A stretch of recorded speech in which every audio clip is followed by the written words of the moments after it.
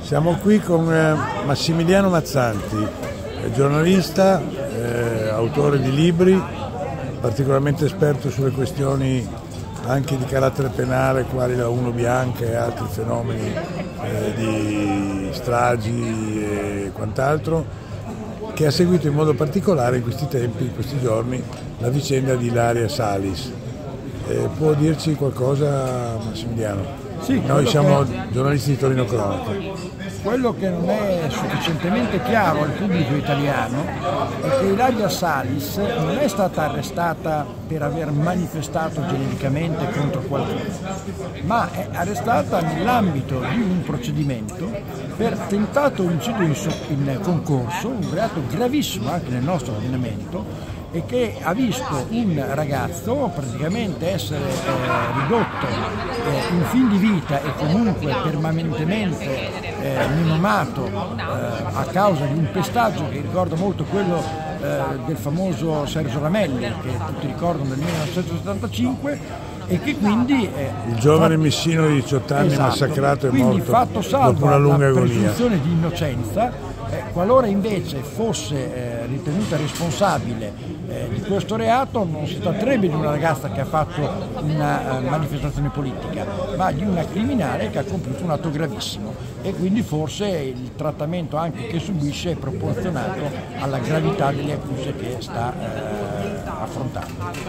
Quanto invece alle immagini che abbiamo potuto vedere quando l'hanno portata in tribunale, lo schiavettone e via dicendo. Questa è una prassi comune è una per gli altri paesi? in tantissimi paesi anche occidentali, prima di tutto la più grande democrazia eh, del mondo, quella americana,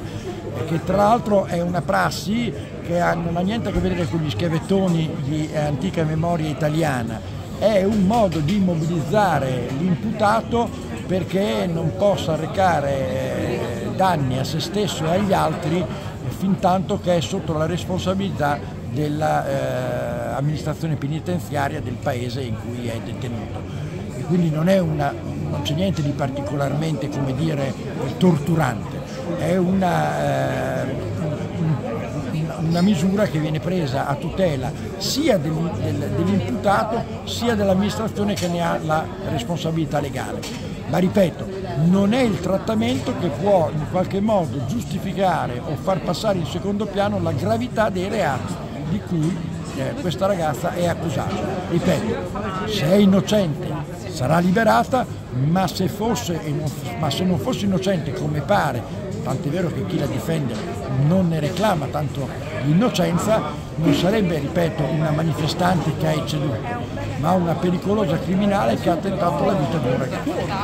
Grazie, lei risiede a Bologna. Sì. Eh, Bologna è diventata particolarmente al centro dell'attenzione in questi giorni perché è stato introdotto questo limite di velocità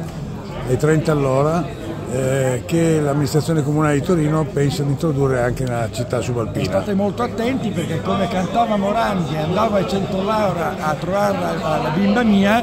andando ai 30 te la portano via e quindi eh, bisogna stare molto attenti perché tutta la popolazione bolognese e in particolare quella attiva che si muove tutti i giorni, non solo per lavorare ma anche per portare i bambini a scuola, per raggiungere i propri parenti, per fare tutto quello che un cittadino fa nell'arco della sua quotidianità, oggi deve impiegare due o tre ore in più eh, in mezzo al traffico perché dobbiamo andare come eh, se fossimo degli scarsi centometristi. Perché ricordo che un centometrista fa i 36 km all'ora. Quindi noi adesso dobbiamo viaggiare meno di quello che ci permetterebbero due medie scarpe da tennis. Grazie